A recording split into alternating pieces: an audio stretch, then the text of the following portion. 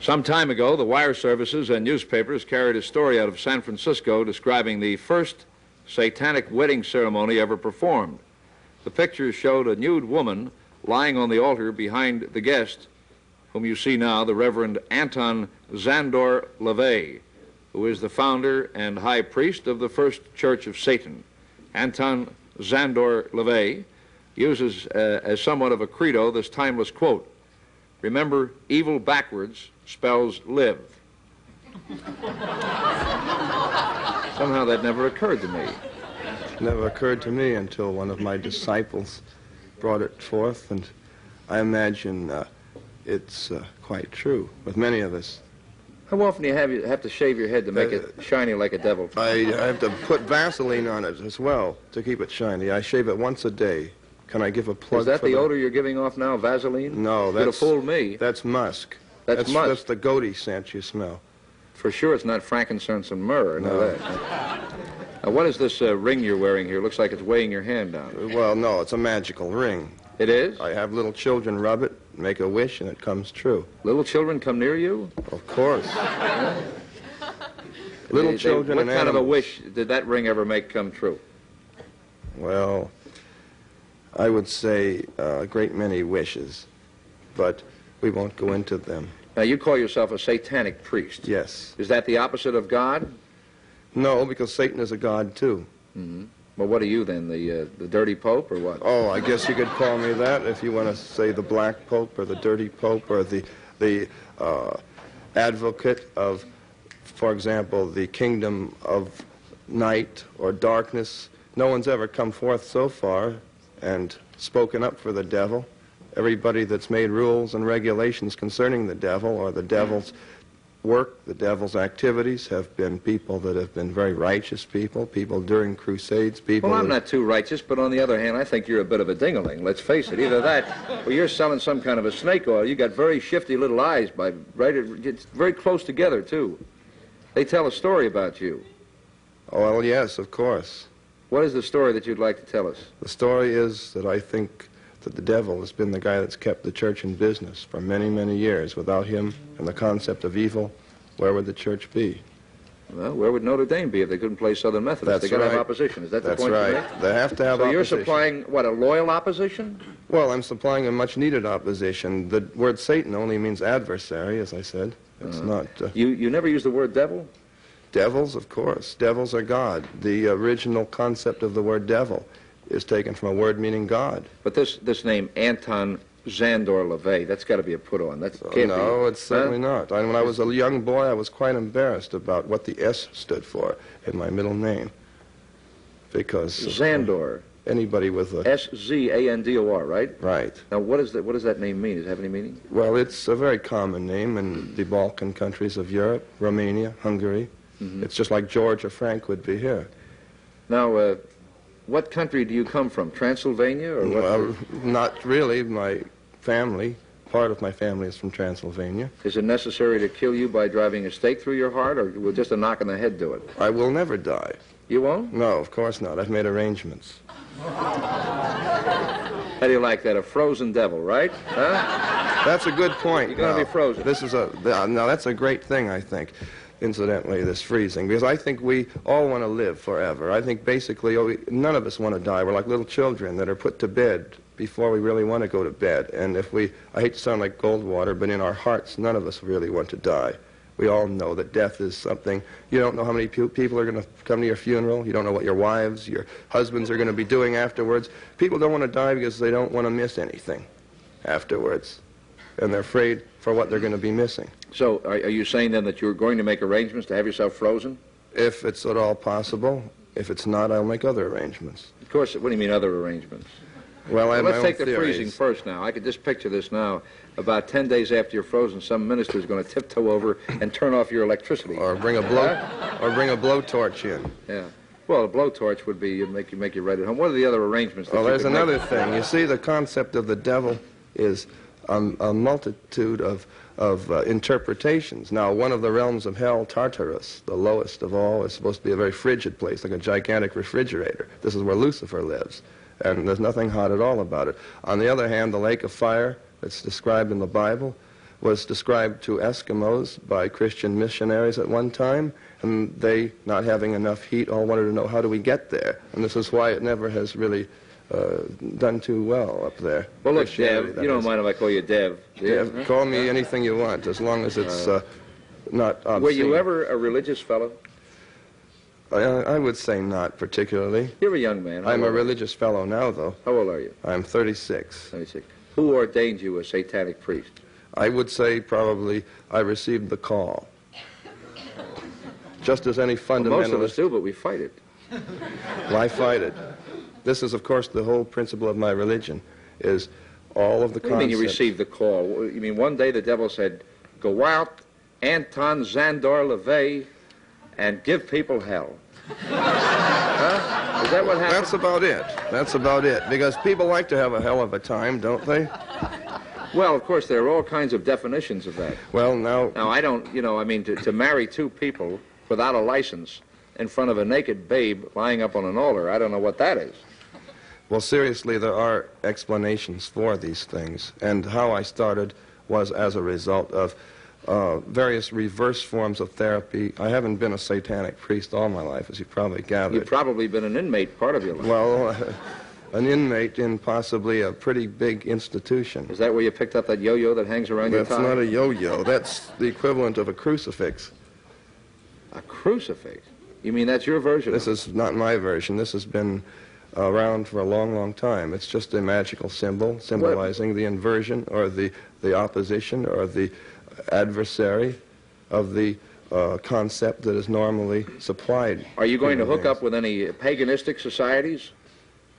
I don't know. Uh, I imagine paganism is just a euphemism for Satanism. People want to get out and run around in the woods without any clothes and all this sort of thing. I don't feel this is necessary. Well, you felt it was necessary to make that girl take her clothing off for that wedding. The girl without clothing. How did you talk her into that? She must be a nut. Well, of course, she's no, she's not. In fact, I might say that most of the people that are in my group are professional people. They're business people. They're people that are from very responsible walks of life. I heard that that marriage is not even legal. Well, it might not be, but as far as I'm concerned, it is because unless they had a piece of paper that uh, said that their blood types were all right and that the That was uh, it. The- the- They had no blood test. That's right. But if they had gone to take this blood test, if they had spent $2 on this particular little piece of paper that said a civil ceremony was in order, therefore a religious ceremony could be performed, then of course this would be just as legal.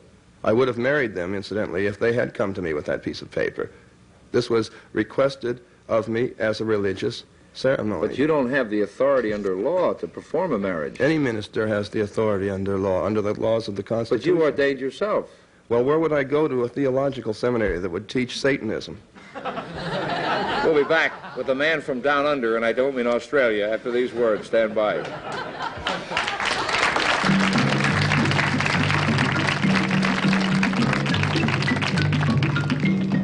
I understand that. Uh, what are you doing? I'm giving a blessing to the to the audience. I don't think they appreciate it. They were throwing it back. Well, they thought it was a curse. Uh, Would you like me to show them how the sign of the curse works? Sign Completely of the curse? different. How does it go? No, not at you, not at you people out there in the audience, but this is the difference. Aim it toward Red China, would you? This is the sign of the horns, a curse sign, the two fingers extended. This way, spread apart for sort of shotgun blast, you know. I always figured if I ever met the, de- the devil, he'd have dirty fingernails. Go on. No, they're not. Yes, they are. Where, where? Dirty, dirty fingernails.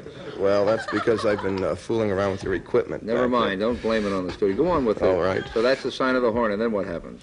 Is that it? Well, the other ones too. Yeah. What are the other ones? The other one's one of them's the pox sign. That's three fingers A extended. pox on you? A pox on you. During the Middle Ages, this Yeah. was Oh, yes. But You're originally, a bad cat. You well, you have to be bad to be good, don't Is it you? true that you teach people how to make voodoo dolls and stick pins in them to uh, to hurt people? That's right. I believe that hate is necessary in a controlled way just as much as love is necessary. But could it really work? Of course it works. It's been working in primitive societies for a long, long Well, time. then how come you don't pick out the despots of the world and make dolls like that and stick pins in them so that the... Oh, you want them to win. You want the bad guys to win, right? Well, I don't say they're necessarily the bad guys or the good guys. It's not up to me because the only people that I would cast a curse or a spell on would be people individually that would sort of get under my skin. Why are you staring at me like that? Because after all, uh, hate should be a personalized thing. Do you, do you hate a lot? No, not really. I am a pretty uh, uh, flexible person. The, the I newspaper said you used to play a calliope in a circus. I played a calliope. I was a wild animal trainer. You live with a lion at home, don't you? Yes, I do. Now, is that just a publicity no, story? I, he sleeps with me every night in the bedroom. How much does he weigh? 500 pounds. Has he been defanged and declawed? No. He Have you? He's, he's got full power. no, not, uh, not yet. Are you at all afraid that someday, after you get through this big put on, that, you know, with your little red yo yo and your big fat ring and your shiny bald head, that when they do pack you away, you Well, know, now, if, wait a if there's any justice, you know, you've got to really get it. Justice? You've got to really get Well, it, baby. isn't justice sort of a lie most of the Huh? time? Isn't the law well, just maybe, tricks, yeah, but you see, we're dealing with men, and men make mistakes, but there's somebody made all of us. Well, they made the laws, too. Somebody made this world, and someday, if he could get his hands on a cat like you, you could be like horrible example number one. You mean like... Uh, Do you ever think about it? you mean night? like uh, J.C.? Yes. Well... What happens if somebody holds a crucifix up in front of you? Do you melt Oh, away? I don't, I don't do this, you know, shrink back and hold my cape up. No, it No. doesn't bother me because I have no axe to grind with Christianity. I feel that if Christians are good Christians, they want to be Christians, fine, if it's working for them. Same with any other religion. The only thing that I would uh, preach would be uh, that people that aren't successfully enjoying their lives as much as they should might sort of flip the coin over and see what's on the other side. You want people to just go full bore, full tilt into sin. No, not full bore, full tilt, because oh, if now, they wait do... a minute. Now, wait a minute. Well, Let now, these, this course, newspaper newspapers are Ah, what notorious now? for this. Come on. It says right here. Let me see if I can find this this part here where they couldn't wait to go out and commit the seven deadly sins. I don't see it here, but I remember reading it. Isn't Right? that what people get married for usually? To commit the seven deadly sins. It gives them a piece of paper that says it's all right? Especially the, the, first. sev- the seven deadly sins. sure. Think about it, really. What head, are clear your what head. are well? What are the? Do you know what the seven deadly sins are? Well, there's uh, pride. Sloth, pride. That's Sloth. right. The the girl gets married because then she can go around to all her friends and say, "Well, I landed him," sort of crow about it. No girl in her right mind would say that you performed the ceremony. Well, all right. There's a sloth. That's right. laziness. Laziness. Doesn't the couple usually go on a honeymoon? They want to lay around after they've committed one of the other sins? I believe the term is lie around on the beach or something like that. I know it's lie around, but I was using another. Yes, I see. All right, we won't go into semantics about this. Good, but, we won't. Uh, and gluttony. Don't we all like to eat until we're full? If we didn't, wouldn't there be uh, no need for diets? No, I don't think so. I don't think people always eat until they're full, or we would all look like balloons. Well, then of course pride would step in, wouldn't it, and take care of that, so that we'd thin ourselves down. We'd be sinning then. Would it be pride or would it be self-denial? Self-denial is a sin, I feel, but it's not considered a sin. Are you planning on training a lot of little devils? Only those that wish to become little devils. Are you married? Oh yes. You have any little devils? Oh yes, I have two. Are you going to raise them as satanic kids? Certainly, but not to go around chopping people up or sacrificing human beings, just to. Uh, That would be the greatest reward of all if your kid some night would creep in and set fire to you and your lion. well, no, Huh? no. and then dance around with pitchfork and say, "Look at Daddy! Look at Daddy!" Huh? Now, if you sleep with your lion, where does Mrs. Devil sleep? Uh, well, she sleeps with the lion too. You see, not between us though. The lion's on one side. Makes for a nice grouping. I don't like. I don't believe in she- separating church and state. There are some people in the dock who would like to speak to you. We'll be going to the dock and the devil after these words.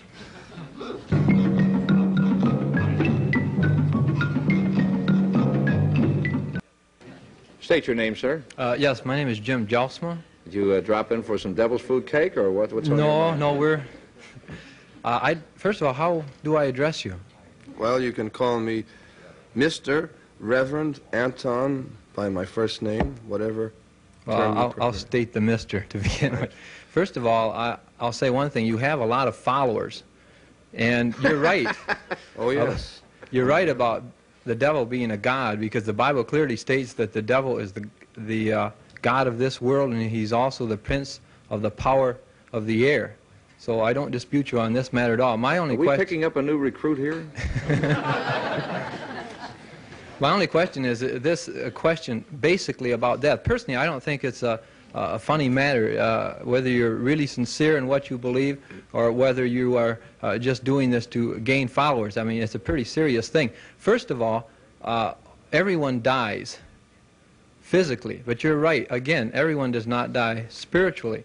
And I'd just like to ask you, what do you think is the concept of God? What is your concept of God? What does God do? Is he, uh, in other words, we visualize God as being the ruler of everything that is, good and proper. In other words, his attributes are love and, uh, and his almightiness, omnipotence, uh, omnipresence, and so forth. And of course, we recognize that God has given to this world many wonderful things. Just look at all the, the as far as uh, paintings and the uh, literature that's inspired by God, the, the tremendous things that you see in, in all over the world that God has inspired through literature and music and art. What has the devil given to this world along the lines of, of what we consider as good and proper and just? Yeah, what have you done lately? Well, certainly you're right. The, uh, the concept of God has given the world much beautiful music, many beautiful works of art, and certainly I feel God exists. But the name for God, of course, is uh, different from many different people. And I feel that God is that force, whatever God one chooses to pray to or to command in the case of Satanism, rather than pray. I feel whatever God exists should be the God that carries a person along, that carries them through, Mhm. that Well, makes them a better person, that makes them live a better life and a, naturally a more pleasant life. So, and I feel that you have to be kind to yourself, indulgent to yourself, before you know what it's like to be kind to others. True. Now, you brought up one thing about pride. Now, do you think this is uh, a bad thing? No, I think pride is a very good thing. Of You have to course, understand, he likes sin, you see. these things are all euphemisms for, and I feel, rules that are insured to be broken by the church. Listen, when your wife crawls over that line to say good morning to you, does she refer to you as Beelzebub, or how does she address you? Depends on what, on what mood she happens to be in. Is she also a satanic type? Oh, yes, She Yes. approves of all of this? certainly. She wouldn't be around if she didn't. And how do you make your living? Uh, As uh, a counselor, sorcerer, practicing wizard, shaman, warlock, whatever you wish to call it. you're also a male witch, a warlock. Well, a male witch is considered a warlock, I you don't you consider claim to be a witch, then? Uh, a male witch. Certainly, but not a white witch, not like some of these people that have been on various shows that bend over backwards trying to convince everyone how good they are. They never perform black magic, only white magic. I think this is ridiculous. Could ridiculous. you make that man disappear out of the dock? Out of the dock? Why should I want to? I Well, could. because we have somebody else coming up. Of course, I can't make him disappear because I am naturally cast in the mold of a human being, and I think this Want is. to bet? It you might be. Less human and more Mephistophelian to me. Thank you, sir. I call him a devil. He's complimented. Would you, would you, would you state your name, please? Mandy Tennyson, and I think you asked him what I wanted to know. How do you make your living? I make my living as any other minister does by the people that come to my congregations, my lecture groups. I do lecture on various occult subjects. It isn't all Satanism. I lecture on voodoo, West Indian magic, African magic, Norse magic, and uh, also uh, try to help people with various problems, enlighten them on these concepts of magic, folklore, and offbeat religions. This is how I got involved in this as a religion. Does it pay well? It pays the bills. I'll Looks like a pretty way. cheap suit you're wearing. It's not even a suit. No, come to think of it, the jacket doesn't match the trousers. It's pretty much the same as yours. I doubt it. I never knew uh, they put No, cuffs I- on burlap bags before. To tell you. No, this isn't. Uh, Uh, you're wearing boots too, aren't that's you? That's right. These are the same kind of boots that motorcycle cars wear. Did you come wear. here on a motorcycle? This makes me a sadist too. Huh? Does it? Are you a sadist also? Oh, yes. Are you also a masochist? Well, a little bit. Well, maybe that's why I'm here. Any other questions? Well, I would like to know if this actually substantiates your house, your expenses. You have two children. How can you live on the people that support you? They must have to give you an awful lot of money. Not really, because after all, if a person is conducting themselves in any kind of business, it doesn't have to mean that they're taking a hundred or two hundred or five hundred dollars from each person. My fees are very, I feel, reasonable for my private Can you, can you picture his kids filling out a form for school? What does your father do? He's a bald-headed devil.